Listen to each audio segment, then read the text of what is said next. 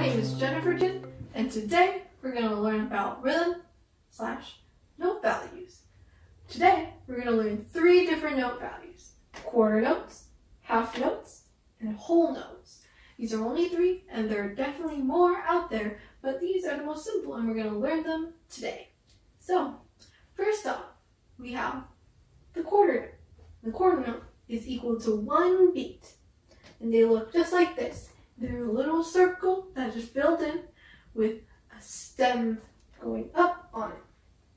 So I'm going to demonstrate to you what a quarter note is. All right.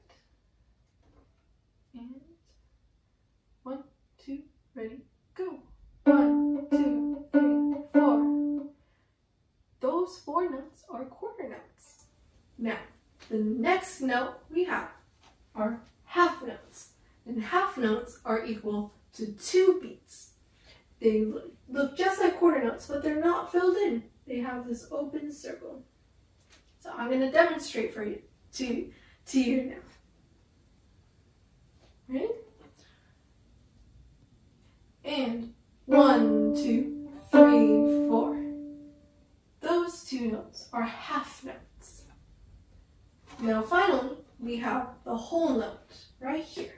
And the whole note is equal to four beats. And it looks just like just this open oval right here. All right, so now I'm going to demonstrate to you what a whole note is on the violin.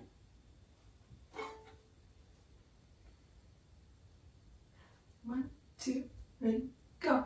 One, two, three, four. There you have it. That's a whole note. So, now that we've learned these three notes, let's study them together.